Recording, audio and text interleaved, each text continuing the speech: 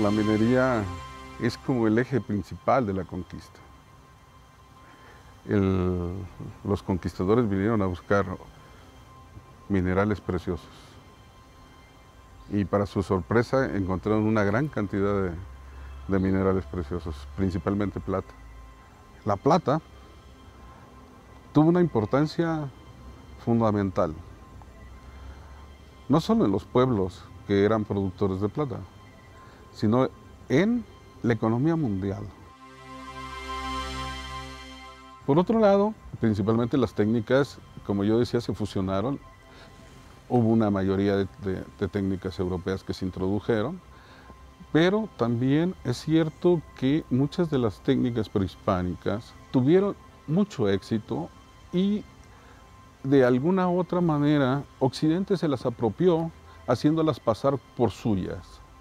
Es decir, como que si, como que si siempre esta visión de atraso de América, mientras los que producían conocimientos y mientras los que producían tecnología eran los europeos. Un ejemplo de ellos puede ser una vez que se extraían todos estos minerales, había que molerlos y se usaron muchos metates como para moler los minerales.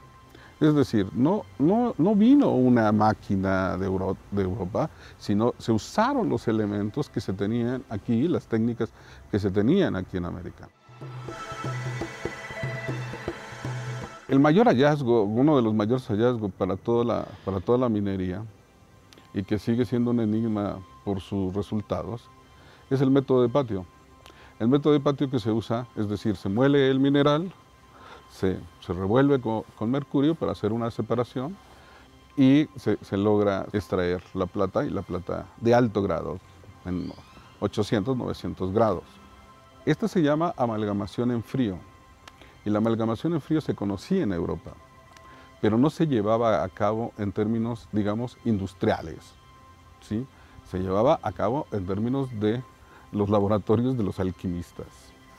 Y les digo que es paradójico porque esta técnica que se utilizó y que se utilizó en toda América, que se descubrió en Pachuca y que se difundió ahí al mundo, pues desafortunadamente no tuvo el éxito que, se tenía en América en Europa, porque en Europa también la trataron de, implementar y trataron de hacer lo mismo y no, y no lo consiguieron.